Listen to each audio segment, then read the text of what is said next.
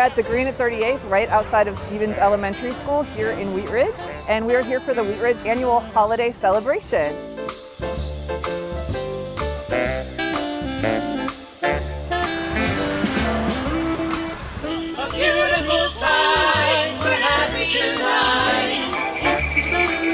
This is such an amazing event that we do each year right here on the green at 38. Uh, it brings the community together, all ages. We have carriage rides, we have carolers.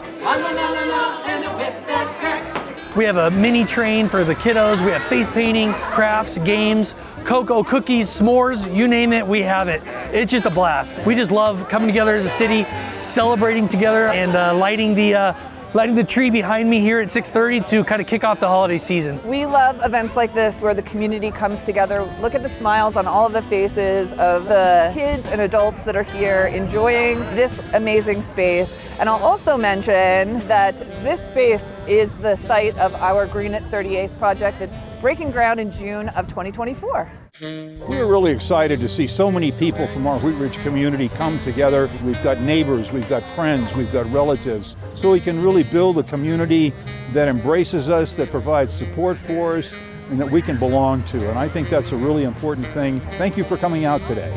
We have carriage rides, photos of Santa, s'mores making, hot chocolate, hot cider, a bunch of fun games and activities. Everyone's having fun, laughing, smiling, playing, roasting marshmallows. It's just a super fun event for the whole community.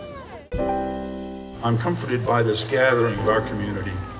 The strength we draw together is a testament to our city's care and resilience. Let us share that love now with those who are here, those in our city, our state, and our nation.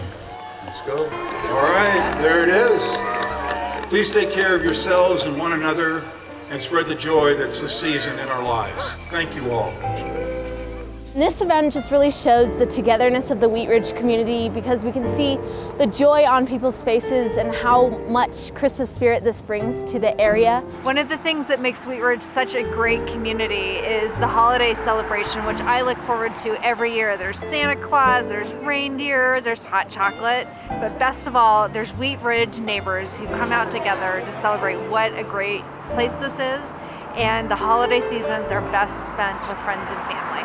Happy holidays! Happy holidays, everybody. Happy holidays from Wheat Ridge. Happy holidays! Happy holidays! Happy holidays! Happy holidays! Merry Christmas! Happy holidays!